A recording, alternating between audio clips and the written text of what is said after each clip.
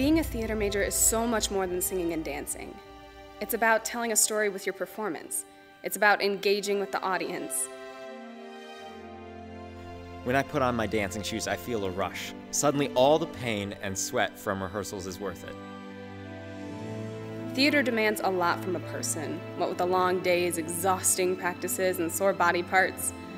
However, it's got a lot of rewards. Like when I'm getting ready for a performance in front of my boudoir, it hits me. With every stroke of makeup I put on, I realize that there is no place I'd rather be. Making an audience come alive through our acting, dancing, and singing is an irreplaceable feeling. Being a theater major is a thrilling experience that comes with emotions and excitement. It is during practices that bonds grow stronger.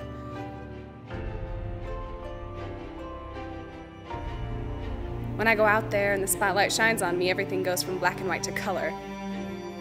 Small, trivial things suddenly disappear when I'm in front of an audience. That's what being a theater major is all about.